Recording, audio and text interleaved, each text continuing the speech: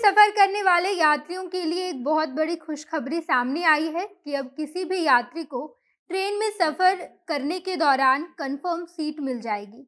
यानी कि अब उन्हें वेटिंग लिस्ट में इंतज़ार नहीं करना पड़ेगा, बल्कि अब आपको ट्रेन में सीधे कंफर्म सीट मिल जाएगी। ये सुविधा रेलवे अपने यात्रियों के लिए लेकर आई है और अब आपको आसान तरीके से ट्रेन में कंफर्म सीट मिलेगा। तो अब आखिर ये सब होगा कैसे? रेलवे क्या कुछ नया तरीका लेकर आई है?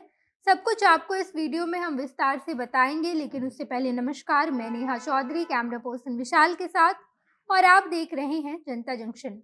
रेलवे यात्रियों की यात्रा आरामदायक बनाने के लिए लगातार रेलवे के नियम में बदलाव करती रहती है। और एक बार फिर रेलवे अपने यात्रियों के लिए एक बड़ी खुशखबरी लेकर सामने आई है, वो ये कि अब यात्रियों को सभी ट्रेन में बेहद ही आसान तरीके से कंफर्म सीट मिल जाएगा। और अब उन्हें वेटिंग लिस्ट में इंतज़ार भी करने की ज़रूरत बिल्कुल नहीं है। रेलवे के इस फैसले से ट्रेन में सफ़र करने वाले यात्रियों को बेहद ही आसान तरीके से कंफर्म सीट मिल जाएगा। अब आखिर ये सब होगा कैसे? तो हम आपको बता दें कि रेलवे ने ये फैसला किया है कि वो ट्रेनों में डब्बों की संख्या बढ़ा देगी। यानी कि अब सभी ट्रेनों के डब्बों को बढ़ा दिया जाएगा, जिससे ट्रेन में सीटों की संख्या बढ़ जाएगी। और यात्रीगण बेहद ही आराम तरीके से कंफर्म सीट लेकर यात्रा कर पाएँगे।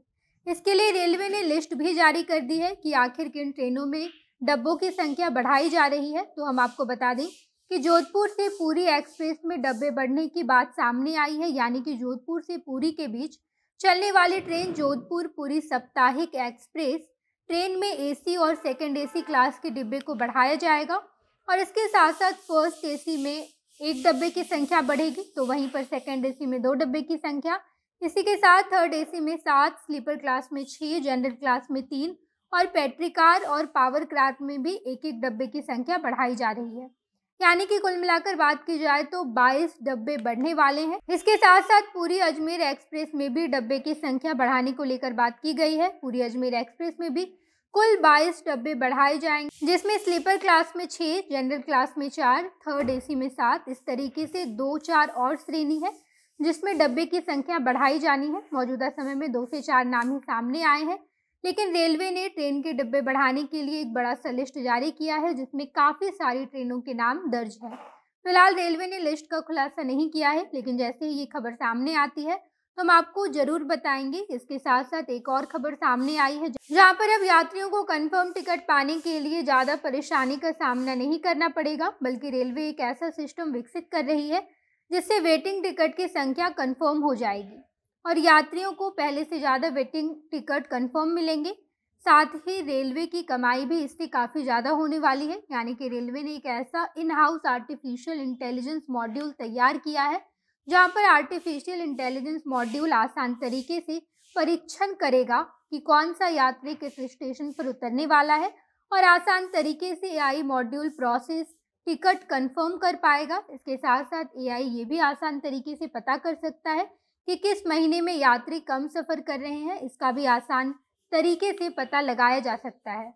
जिससे रेलवे आसान तरीके से टिकट बुक कर पाएगी, जिससे मौजूदा समय में चार से पाँच प्रतिशत टिकट ज़्यादा कंफर्म होगा। एआई कई मायनों में काफ़ी ज़्यादा बेहतरीन साबित होने वाला है, क्योंकि ये यात्रियों की टिकट बुकिंग के साथ साथ स्टेशनों की दूरी और स्टेशनों के लिए टिकट की मांग कम या ज़्यादा को भी चेक कर पाएगा। यानी कि किन स्टेशनों के बीच सबसे ज़्यादा यात्री ट्रेन में सफ़र करने वाले हैं?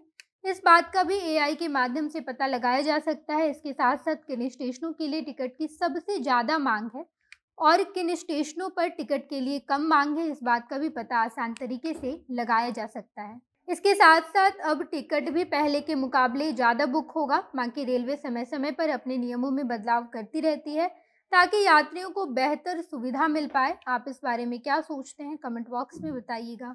आगे की तमाम खबरों के लिए जनता जंक्शन देखते रहिए। धन्यवाद।